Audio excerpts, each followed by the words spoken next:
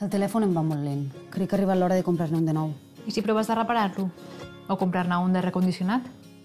Davant la situació global d'emergència climàtica, és important adoptar hàbits de consum més responsables per tal de reduir la petjada ecològica. Valorar si realment necessitem comprar un producte, consumir productes i serveis de proximitat o practicar l'economia circular, reparant les coses que es fan malbé i donant una segona vida a aquelles que ja no ens fan servei, són només alguns dels exemples que poden marcar la diferència. Com si fos nou. 012. La millor resposta. Generalitat de Catalunya.